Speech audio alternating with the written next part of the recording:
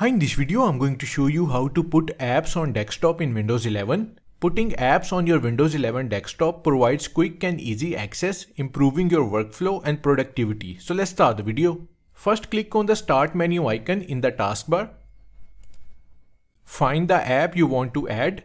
You can scroll through the list by clicking on all apps button or you can use the search bar at the top. Once you found your app, let's say we want to add shortcut of this app to our desktop, CapCut. So right click on the app icon, hover your cursor over more, and then click on open file location.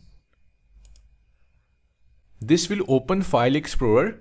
In the File Explorer window, right click on the app shortcut, then click on show more options and finally hover your cursor over send to and then select desktop create shortcut. And just like that, we have a shortcut to the app right on our Windows 11 desktop. So that's how to put apps on desktop in Windows 11. Thanks for watching.